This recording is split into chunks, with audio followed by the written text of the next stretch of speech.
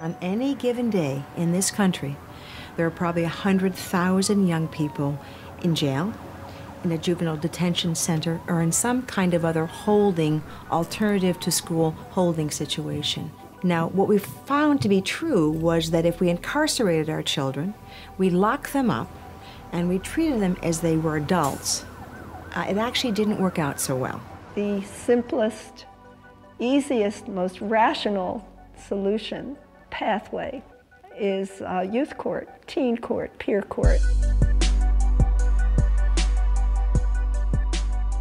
Teen court is meant for first-time nonviolent youthful offenders between the ages of 15 and 18 years old. And a lot of times it is very minor incidents, uh, particularly in a school setting. Um, it could be uh, disorderly conduct, which might be just misbehavior, but because it may be a violation of law, uh, they get arrested. The whole point of the program was a deal with youth in their first involvement with the law to hopefully make it their last.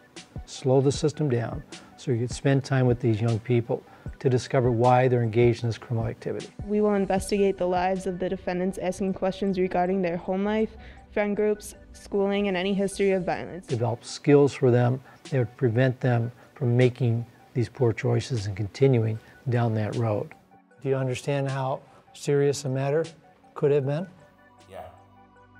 Yeah. And do you understand you could have been charged with a felony? Yeah. You could have gone to state prison? Yeah. So what did you learn from all this?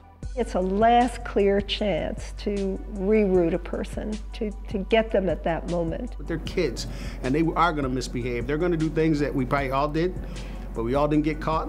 We all didn't get caught up in the system, and we turned out successfully. It's a blessing, because there's a thousand people who was here before us didn't get the chance. A lot of people just messed up once, and that was it for them.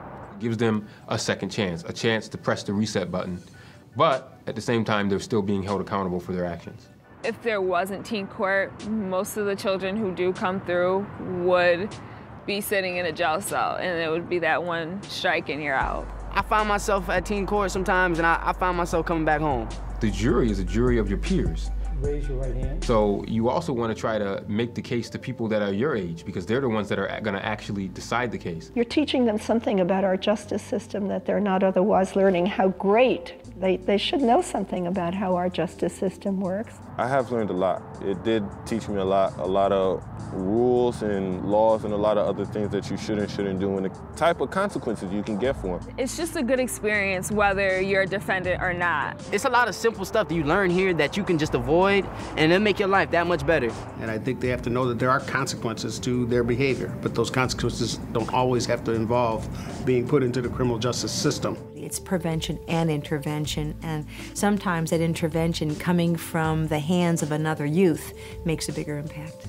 Could you please indicate the uh, verdict to the jury? The verdict is she shall serve 20 hours of community service and shall attend the after workshop.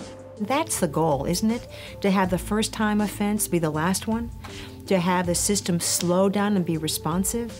To have a better understanding of why a young person might be involved in behaviors? Teen court, by teaching teenagers how to do the right thing, avoids repeat offenders, avoids having those people end up in jail. Because it's an effective way at dealing with criminal activity from young people that are not mature enough at times to make good judgments. But I think you do understand that you acted inappropriately that day and that you're violating the rules. And you're a bright young woman. You've got a great future ahead of you if you use your talents in the right direction. So I hope you do that. Do you understand? This can keep them out of the criminal justice system, and this is what we need to do. And this is why we need to support Teen Court and programs like it. It just makes sense because in the long run, you're doing good for the society.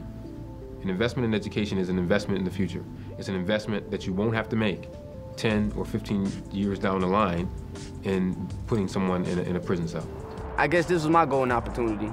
My, my, my opportunity to change somebody else's life while changing mine. And I mean, I wish anybody had the chance to do that.